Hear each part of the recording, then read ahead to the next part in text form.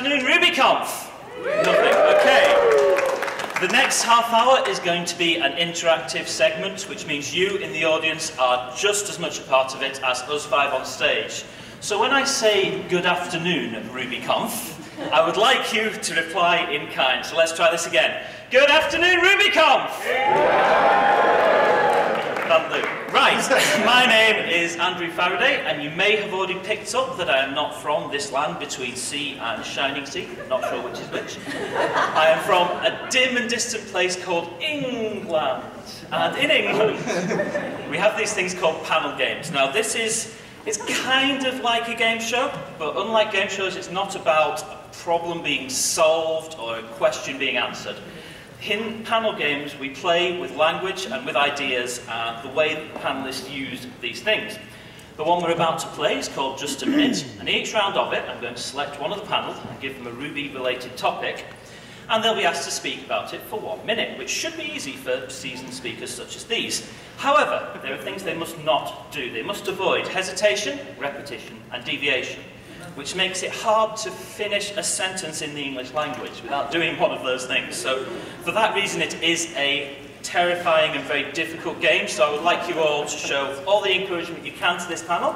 If you believe somebody has done well, by all means, put your hands together, raise your voice, let them know. The game involves challenges, where the panelists challenge each other based on whether they think the rules have been uh, broken. And they're a bit subjective, so if you think a challenge is harsh, by all means, let us know that as well. Okay, there's one, uh, one more third piece of audience interaction that I'll be asking for, and this is by far the most important. The show starts on all occasions with the same declaration of welcome to the show, and then some piano music, the same theme. So when that piano music kicks in, I want you all to kindly put your hands together and raise the roof, because that is how we know the game is on. We ready, RubyConf? Welcome to Just a Minute.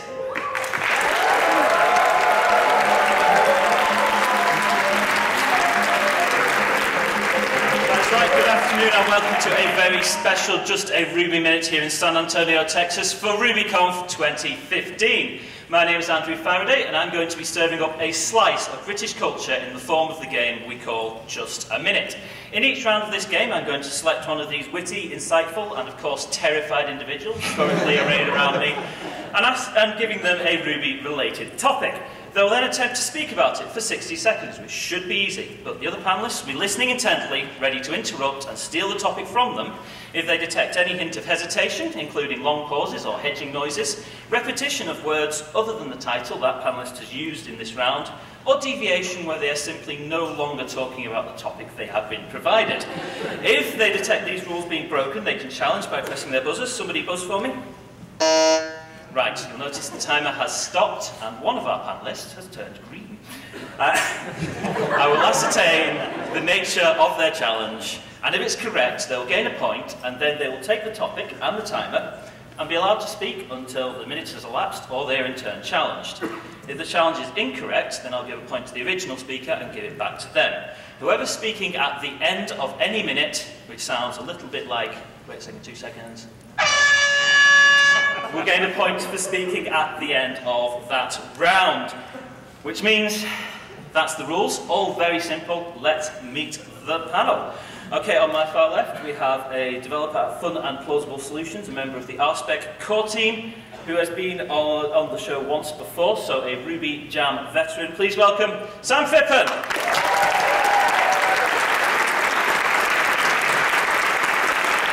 Also on my left, we have got a member of both the Ruby and Rails core teams. Uh, the, ugh, let's start again. We're currently working at Red Hat, and the founder of the Friday Hug we all enjoy so much. Please welcome Aaron Patterson. to my right is a developer at Fun and Plausible. Uh, no. no. Sorry, Kinsey. Go spot check. Go spot check. a huge part of Kubmo and Bridge Foundry, also on a second Just a Ruby Minute, so a veteran of the game. Please welcome Kinsey Ann Durham. Last up, we have a designer and Rails developer working from Brighton, England, the organiser of the Brighton Ruby Conference, where this event first found its voice, father of twins, the terminally exhausted Andy Croll. Let's crack right on. Sam, you are first up to speak. Your topic is My First Application. Now, I said you can repeat the topic title. This is Tech Jam. So you can also use short forms of the title. You may also say app as much as you please. You ready, Sam? there are loads of people waiting to hear you speak. It's going to be awesome. Let's, right. see, let's see what happens. All right. Okay, you have 60 seconds starting now. My first application wasn't actually a Ruby on Rails application. Andy, No, that was a mistake. I was to be clear on the rules, application is part of the exactly, title. that's right, and as I pressed the button, I realised that. Okay, I'm going to let you off that one. Can you give him the negative? Oh, really? It's just, it's just very exciting. It is very and terrifying. okay, Sam, I'm going to let you carry on there with 55 seconds starting now. So I had this uh, PHP app I was working on, and it was something of a train wreck. The best part was the app Kinsey. Hesitation. Yes, there was definite hesitation there. So, harsh. Kinsey, I'm giving you points.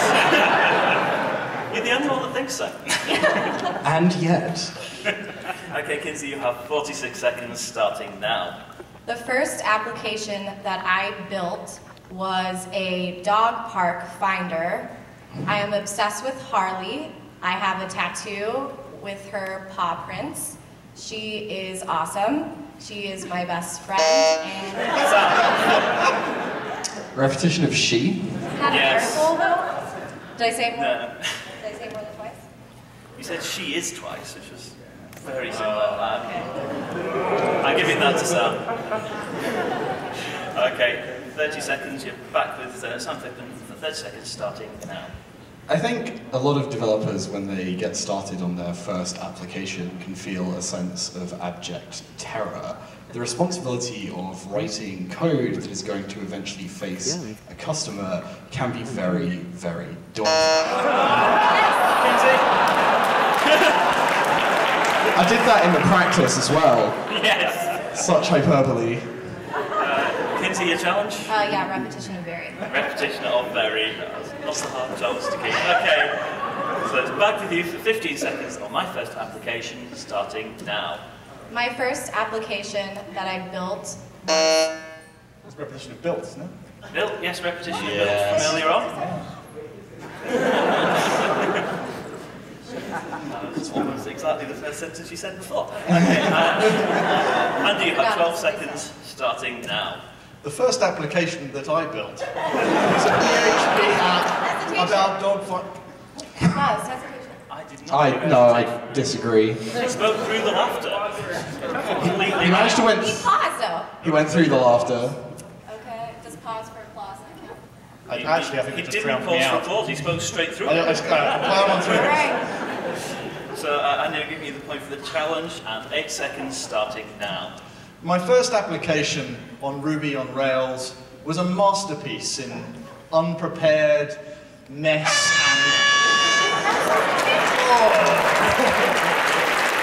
That's Andy Croll, currently in the lead after round one. Yes, it was hesitation, was hes- but nobody buzzed in time. okay, Aaron, you're first up to speak. Next. Oh no. Awesome, your topic is my favourite text editor. favourite text editor. Aaron Patterson, 60 seconds, starting now. My favorite text editor is not TextMate or Emacs or Vim or Ed.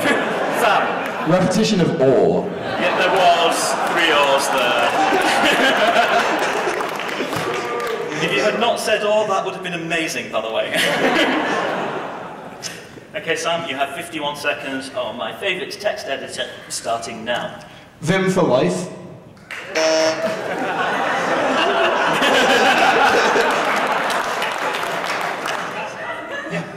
Say it to the Oh, mic. hesitation. Sorry. Hesitation, yes. Yeah. Okay, Kinsey, you have 49 seconds starting now. I also like Vim. Right now, I'm using a text editor called RubyMine, though, and it's really slow, and the debugger is shit. But, you know, it's still a great product at times, and I can easily... Sam, Repetition of and. there was a lot of ands there. That's harsh. I have to get some rules on that. Ooh. I did say let him know. They, they started booing me after three rounds last time as well. It's great. Not there, yeah. Uh, however, it was correct. It was harsh. I'm giving that to Sam, so 31 seconds starting now. In all seriousness, I think it's acceptable to use different text editors depending on the language, framework, or system that you're working in. It's often the case that sometimes you want an IDE, sometimes you want. Repetition of sometimes. Yes. Yep. Time's correct. Aaron Patterson gets a point. I got one. so that is 18 seconds. Back with you, Aaron, on my favourite text editor. Starting now. My favorite text editor is the text editor that I like to use every single day, including weekdays. I use it on weekends, but that's when I'm just coding for fun. I think that using a text editor is an important part of it.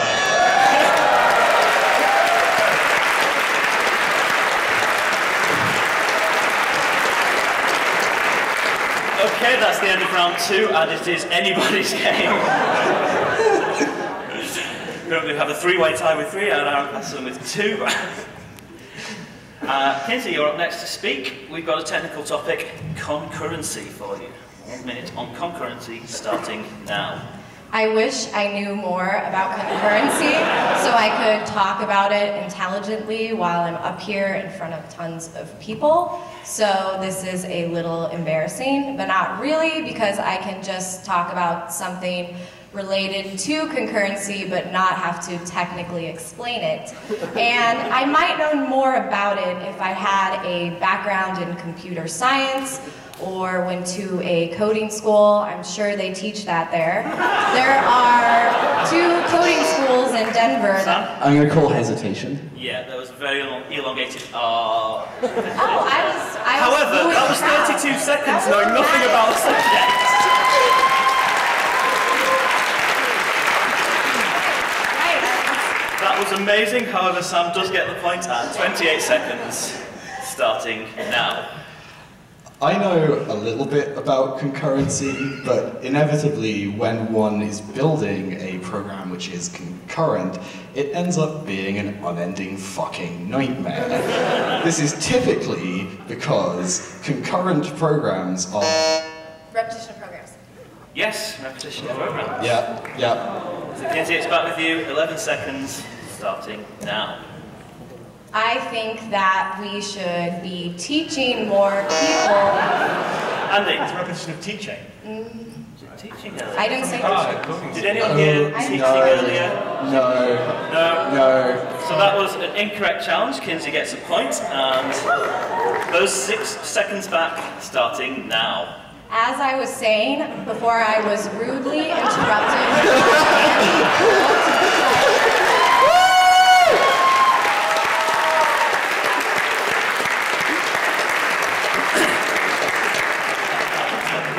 Kinsey was winning at this point in Brighton as well.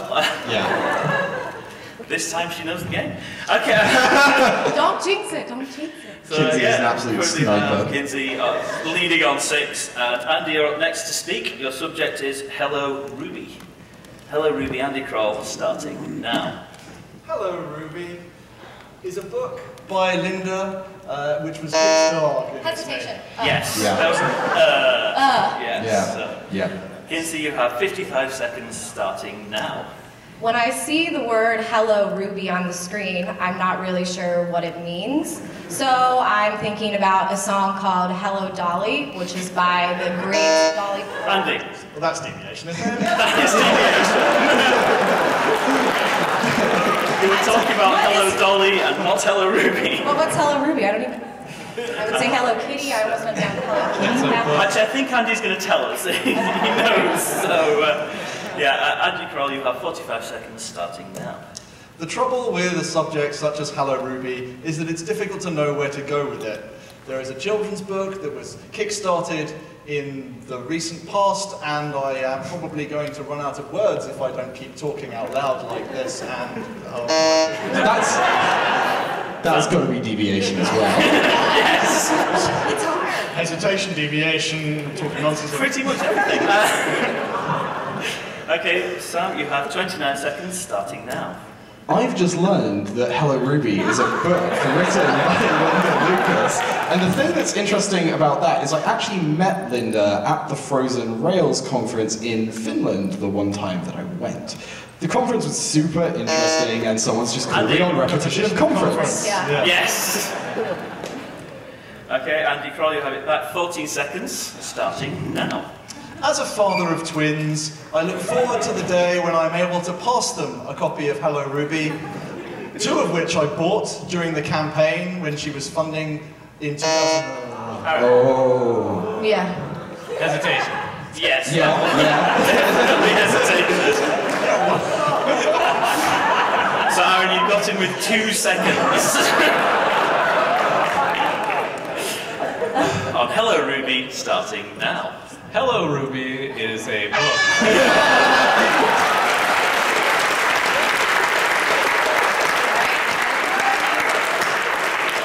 Excellent, that was round four. Currently Kinsey's in the lead. Uh, Aaron's only just behind. Uh, okay, Sam, you're up next to speak. Your subject is legacy code. Legacy code, 60 seconds starting now. I help make RSpec. RSpec is a really... Yeah. Andy, Wow. I believe that was repetition of RSpec. it was! Yeah, fair enough. okay, uh, Andy Croll, you have 55 seconds on legacy code starting now. It has been said that as soon as you write code, it becomes legacy code. The times that you spend not writing legacy code are few and far between. It's very difficult to think about any code that I've written that doesn't somehow end up as legacy. Repetition of written. Is there written earlier? I... Ooh. Oh. Right and written, yes. I think, I think he's good. I think he's good. So, Andy, you have it back. 38 seconds. Oh, I, wait, what? So right and written are two separate different. Yeah, right and written Oh. are two different words. Okay. It's the same word, it's just different. they have different letters and they sound different. Ouch, harsh. Just explaining the rules. Uh, This might be the American English language barrier.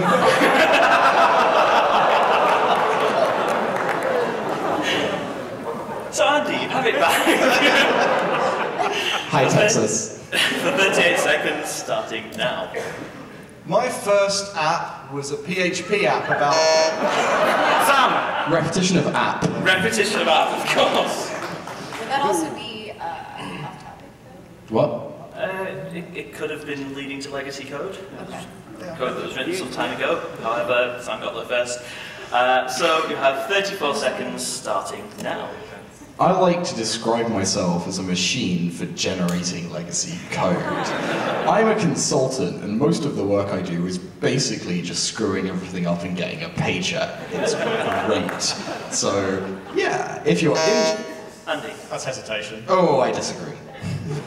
Yeah it was definitely a bridging word, wasn't it? It's filling that space. Yeah, I'm going to give you that one. So, uh, they're not sure in the room. Okay, uh, okay, Andy, you have 19 seconds starting now. Just as when you're on a panel game, it's easy to make enemies with the people listening to you. It is easy also to make Sam, Repetition of easy. repetition of easy, yes. and make, and I was also about to say enemies, so. Fair enough. So, Sam, you have 12 seconds starting now. There are many definitions of legacy code and also code smells. There's a book by, I think it's Martin Fowler, who explains how to detect code smells. Nobody buzzed, but yes, No, it, it's it, it repeated late. smells. So, Check um, me out. Have a tie in the lead between Sam and Andy, our British contingent on this show. Uh, Aaron, you're next. And your All right, topic is duck typing. duck typing. Aaron Patterson, starting now. So I think that duck typing is a very interesting technique for ducks to use when they are typing at a computer because ducks also like to produce legacy code. Oh, sorry. Repetition of ducks, which is not in the title. Yes.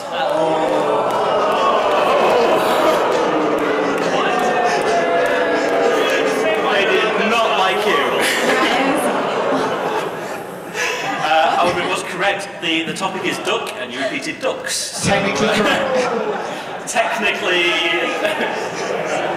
Technically correct is the best kind of correct. Can I say, can I repeat duck typings? you couldn't have repeated typings either.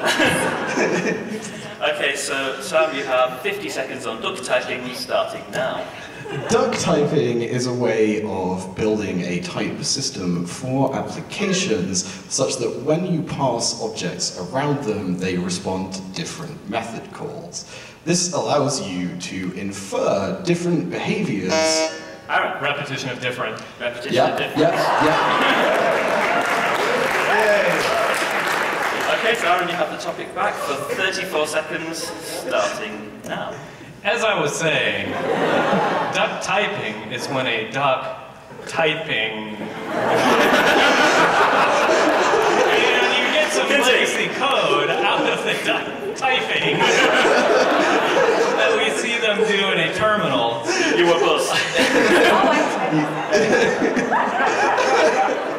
I, oh, I was going to say hesitation. It was hesitation.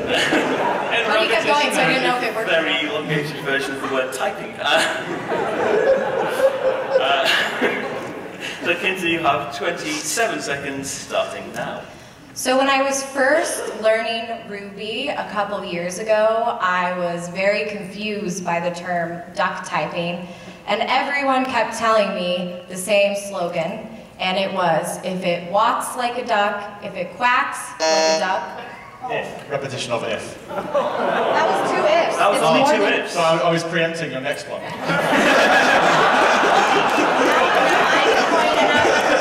So that was an incorrect challenge due to my lack of precognition, so Kinsey gain a point. and have 11 seconds on duck typing, starting now. So as I was saying before I was so rudely interrupted next to me, Repetition of I. That was three times. Oh.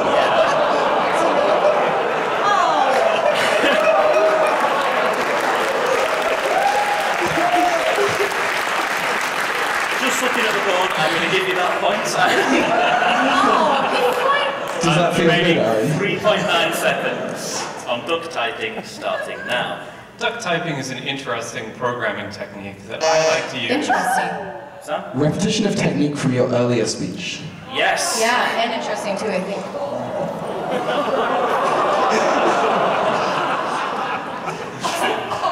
Sam, you have half a second to speak about duck typing, starting now. Duck.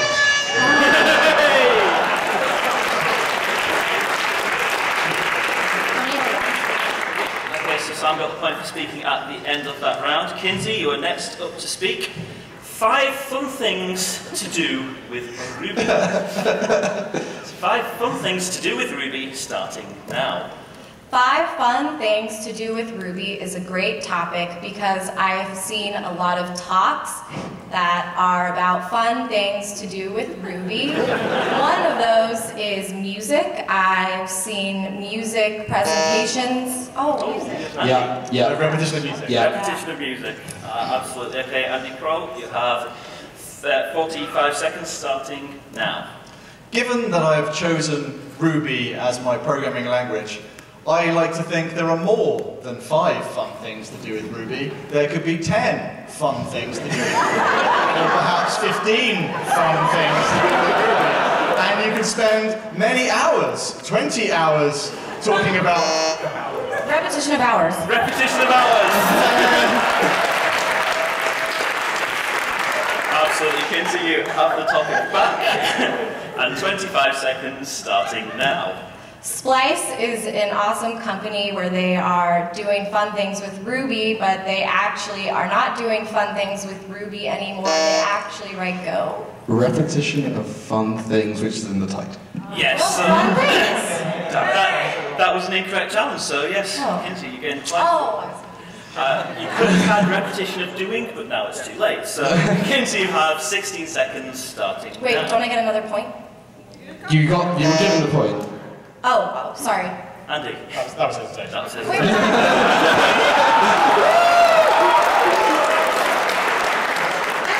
Wait, You, you were too busy trying to get additional points, not to stick with well, the I thought I was missing a point, so I just wanted to make sure that it was properly reflected. You gained the points for that time. Okay, Uh, so I lost that one? Yeah. Uh, Okay. yeah, so, uh, which means Andy gets a point and has 14 seconds starting now. Five fun things to do with Ruby would be an excellent name for a talk if I were to submit it as part of a call for proposal for something like RubyConf or Rails Bridge or other things like that. Hesitation. Andy Croll somehow got away with that third or. I wasn't quite fast enough. Yeah. Uh, yeah, so Andy, you are first up to speak next, and open source software is your topic. Open source software starting now. I think it's clear to see that none of us would be here today were it not for the principles of open source software. We all rely in our day jobs on software that has been open sourced by smarter people than ourselves who might find useful libraries that they build for other people to use and open source. Oh, Hes- hesitation? I think there Yeah, was he- hesitation it's put me out of my misery. Okay, Sam, you have got your point, and 37 seconds on open source software starting now. Open source software can be acronymized in a number of ways, including O source software, Open S software, Open source S, O S.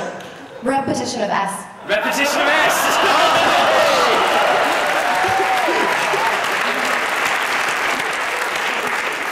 so, Kinsey, you gain the point for that, and you have the subject back for 25 seconds starting now.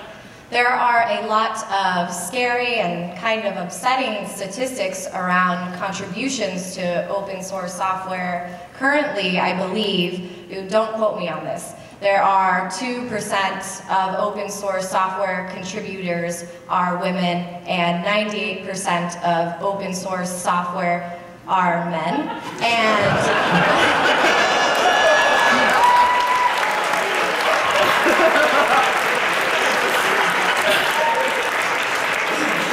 I will not quote you on that last sentence, it was a beautiful one.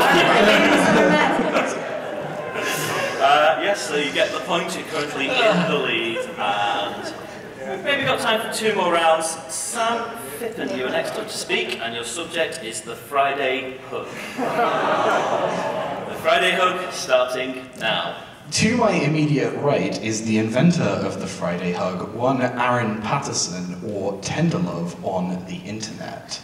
The great thing about the Friday Hug is it encourages all of us to celebrate the end of the week and the achievements that we've made in the time that we've spent building our applications.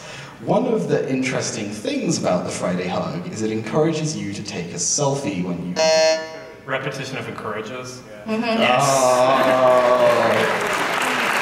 Completely correct, Aaron. You have 34 seconds, also you are un- uniquely equipped to speak that. uh, starting now. I invented the Friday hug on a Friday. I recall the Friday hug day very clearly. No, he doesn't.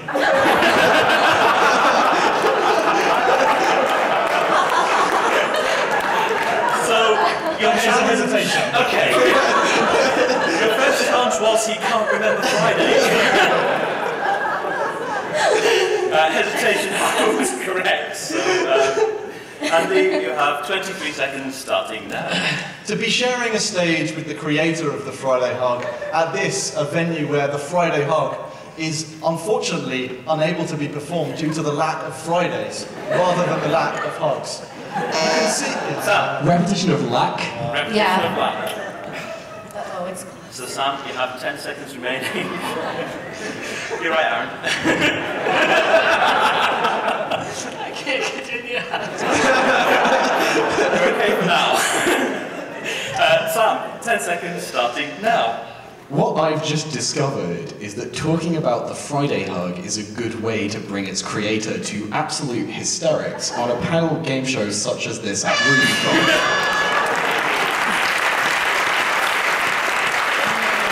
think this will have to be our last round. Currently, Sam is in the lead. It's almost anyone's game. Uh,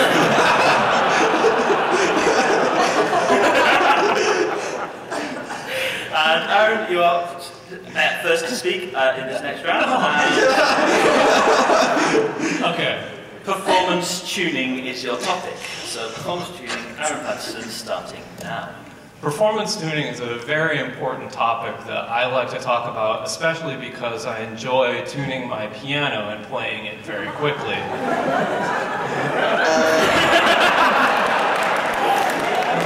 Sam, I'm, I'm, I'm, I'm going to suggest hesitation. That may well have been hesitation, sir. so, Sam, you have 49 seconds on performance tuning, starting now. Performance tuning RSpec has been a really interesting exercise. Mostly we've been using allocation tracing to determine where objects are created within the library. This then enables us to make performance optimizations by removing object instant Kinsey, uh, repetition of optimization or object. Sorry, object. which one are you challenging on? Object. Object, Yeah. correct. Okay, Kinsey, you have 32 seconds on performance tuning, starting now. So someone who really inspires me in the space of performance tuning is Eileen.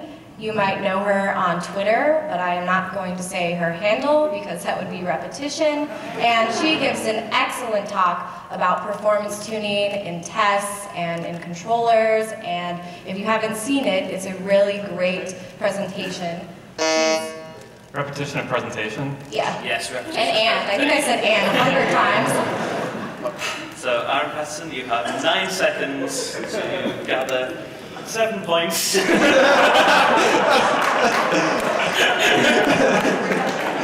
Sorry. Uh, starting now. I really enjoy performance tuning of software and legacy systems, especially when it Andy. I just wanted to go before we finished. So there was no challenge? Aaron, you get the points.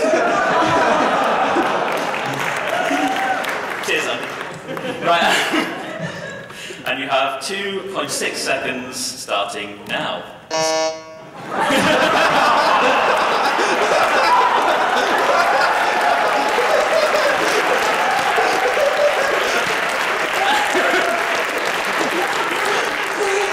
Do go on. Oh, I just want Aaron to have a point. You know that's the correct challenge, so I'm giving Aaron another point. 2.1 seconds starting now. Yeah. Aaron's a nice man.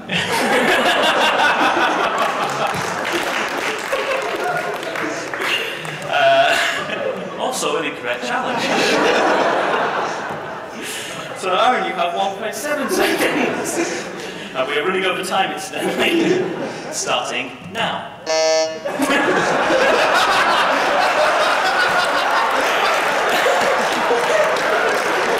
I just, I just wanted to see if I could do it. It's on GitHub, I would raise an issue. Uh, I challenged myself. the simple answer is no, you can't. I- I'm just going to start you again. I can't give you a point for that. Wish I could. Uh, you have 1.4 seconds starting now.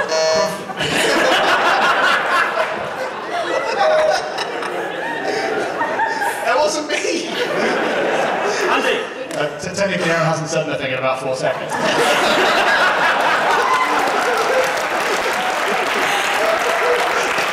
I so want to give you that point. Hesitation. Sure. Is Andy correct, do we think?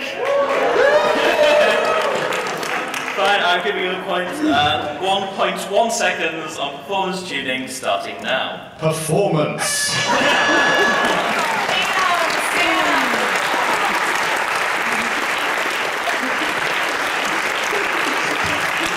Thank you so much, RubyConf. This has been amazing. so, at the final scores, Sam Phippen is winning with 15 points. We have a tie for second and a very close fourth. uh, so, it only remains for me to thank Ian Messiter, the man who created this game, and Nicholas Parsons, who has been hosting it for nearly 50 years. I really am just keeping his seat warm.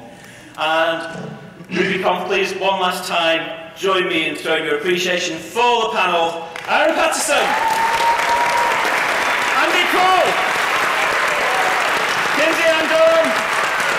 And today's winner, Sam Phippen. I've been Andrew Faraday. Thank you very much. Goodbye.